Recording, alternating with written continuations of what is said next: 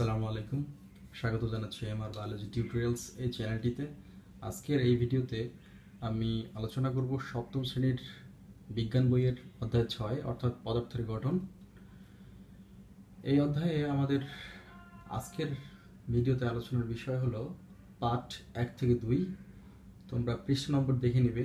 আমার বইতে পঞ্চান্ন থেকে সাত সাতান্ন নম্বর পৃষ্ঠায় আমরা খেয়াল করব পদার্থ, পরিস্থিতি ও গঠন। প্রথমেই আমরা একটা প্রশ্ন করি, আমরা আমাদের পরিবেশে যে সমস্ত পদার্থগুলোকে দেখি, সেই পদার্থগুলো গাঠনিকভাবে, গঠনগতভাবে পদার্থ কত রকম? আমরা উত্তর দিতে পারব, পদার্থ গঠনগতভাবে তিন রকম। এক নম্বর হচ্ছে মৌলিক পদার্থ।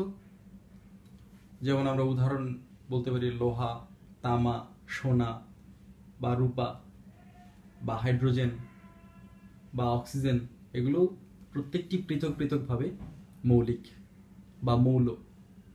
এর কারণটা হলো আমরা সংজ্ঞায় লিখে দিয়েছি, মৌলিক পদার্থ বা মৌল শুধুমাত্র একটি পদার্থে গঠিত যে পদার্থ আমরা দেখতে পাবো বা আছে আমাদের পৃথিবীতে, তা হলো মৌলিক পদার্থ। তাহলে যে নামগুলো আমি বললাম প্রথমেই, এগুলো হচ্ছে মৌলিক পদার্থ। দুই নম্বর যৌগিক বা যৌগ। একাধিক ভিন্ন মৌলিক পদার্থের মাধ্যমে যে পদার্থ তৈরি হয়, সেটা হলো যৌগিক পদার্থ বা যৌগ। যেমন পানি, এই পানির মধ্যে আমরা দেখব হাইড্রোজেন এবং অক্সিজেনে দুইটি পদার্থ বিদ্যমান আছে। কার্বন ডাই অক্সাইডের মধ্যে কার্বন এবং অক্সিজেন দুইটি পদার্থ আছে। অর্থাৎ একাধিক ভিন্ন মৌলিক পদার্থ যদি থাকে কোনো পদার্থের ভিতরে, তাহলে সেটি হচ্ছে যৌগিক পদার্থ। আমরা যদি মিশ্র পদার্থের কথা বলি, বায়ু শরবত, কুয়াশা, লোহায় মরিচা, এগুলো হচ্ছে উদাহরণ। তো মিশ্র পদার্থ বলতে আমরা দেখব যে মৌলিক এবং যৌগিক পদার্থের সমন্বয়ে বা মাধ্যমে বা এদের মিশ্রণে যে পদার্থ গঠিত হয়, তা হলো মিশ্র পদার্থ। এই যে পদার্থগুলো সংজ্ঞায়ন বা আমরা সংজ্ঞা দিলাম এবং এগুলোর উদাহরণ দিলাম, আমরা কিছু বিশ্লেষণ করার মাধ্যমে দেখব যে পদার্থগুলো আসলেই এই রকমের কিনা? অর্থাৎ মৌলিক, যৌগিক বা মিশ্র পদার্থ কীভাবে হয় বা কেন? এক নম্বর যে পদার্থটি এখানে আছে এফ ই নামক কণা দ্বারা গঠিত।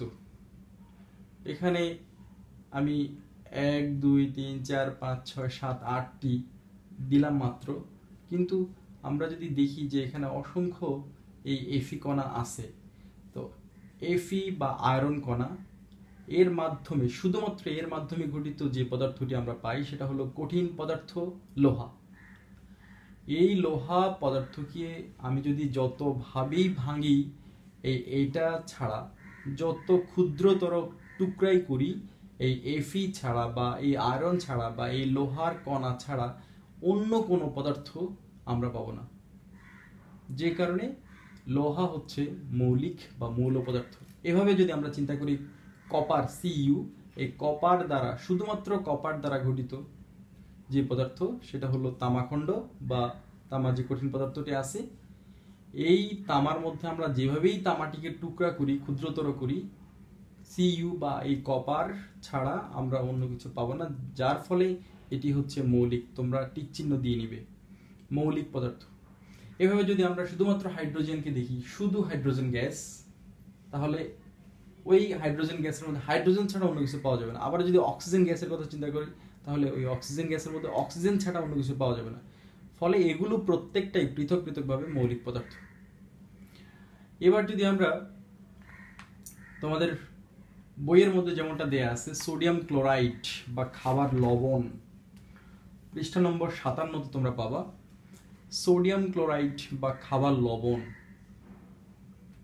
যদি আমরা দেখি এন এ সোডিয়াম এবং সিএল ক্লোরিন এই দুই রকম মৌলিক পদার্থের মাধ্যমে দুই রকমের। দেখো, এক, দুই, তিন, চার, পাঁচ, ছয়, সাত, আট, এখানে আটটি কণা আছে। এই আটটি কণার মধ্যে আটটি কণা আমরা দেখিয়েছি মূলত।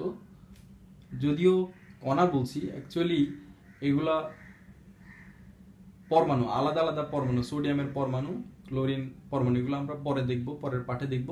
তো এই যে গঠন, সম্পূর্ণ গঠনটা আমরা দেখব, তাহলে এই গঠনের মধ্যে, এই গঠনটাকে যদি আমরা যতভাবেই টুকরা করি বা ক্ষুদ্রতর করি, তাহলে এখানে সোডিয়াম এবং ক্লোরিন এই দুইটি কে আমরা একসাথে পাবো। সোডিয়াম এবং ক্লোরিনকে যত ছোট টুকরাই করি, যত ক্ষুদ্রতর করার চেষ্টাই করি সেই ক্ষুদ্রতর যে কোনো একটি খণ্ড নিলে আমরা সোডিয়াম এবং ক্লোরিনকে পাবো। ফলে আমরা বুঝতে পারি যে এই পদার্থটির মধ্যে দুই ধরনের মৌলিক পদার্থ বিদ্যমান, ফলে এই যৌগটি বা এই পদার্থটি যৌগিক পদার্থ বা যৌগ।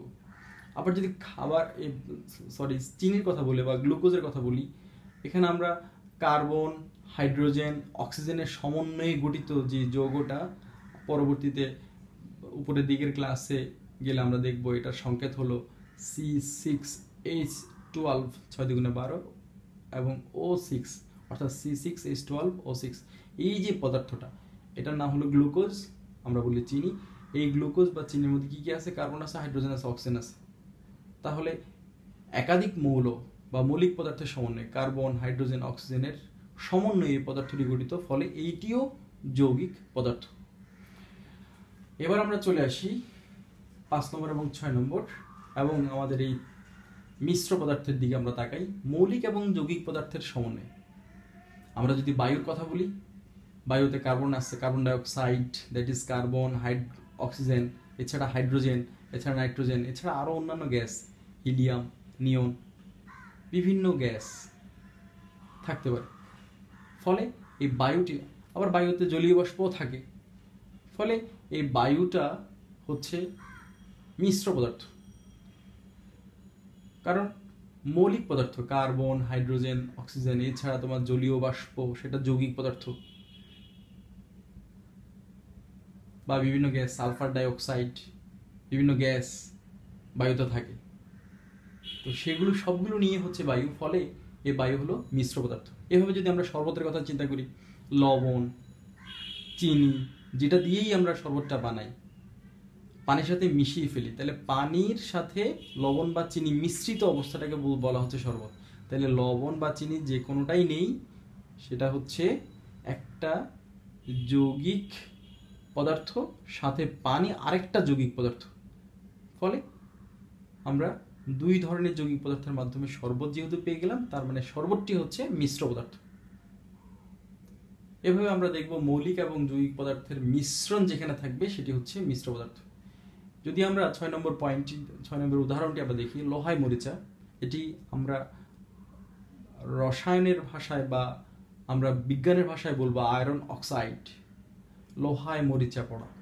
মূলত এটি হলো লোহার সাথে অক্সিজেন এবং পানি জলীয় বাষ্পের বিক্রিয়া। লোহা অক্সিজেন এবং জলীয় বাষ্পের সমন্বিত বা মিশ্রিত যে ঘটনাটা, সেটা হচ্ছে আমাদের কাছে এই আয়রন অক্সাইড বা লোহায় মরিচা। তাহলে লোহায় মরিচা, লোহা পদার্থটি মৌলিক, কিন্তু তার সাথে অক্সিজেন এবং জলীয় বাষ্প জলীয় বাষ্প মিশ্রিত হওয়ার কারণে যে পদার্থটি আমরা পেয়ে গেলাম লোহায় মরিচা, অর্থাৎ আয়রন অক্সাইড, তাহলে এই পদার্থটি হলো মিশ্র পদার্থ। তাহলে শিক্ষার্থীরা, তোমরা খেয়াল করবে, তোমাদের এই পাঠ এক থেকে দুইয়ের মধ্যে আমরা আলোচনা করলাম। পদার্থের পরিচিতি, অর্থাৎ আমাদের চারপাশে যে পদার্থগুলো পাওয়া যায়, সেই পদার্থগুলোকে গাঠনিকভাবে আমরা কত রকম বিবেচনা করি এবং কেন? আমরা উত্তরটা, প্রশ্নের উত্তরটা লিখে ফেলব। অর্থাৎ সংজ্ঞাগুলো আমরা লিখে ফেলব এবং উদাহরণ লিখব। এরপরে বিশ্লেষণ, কেন এগুলো মৌলিক, কেন যৌগিক বা কেন মিশ্র?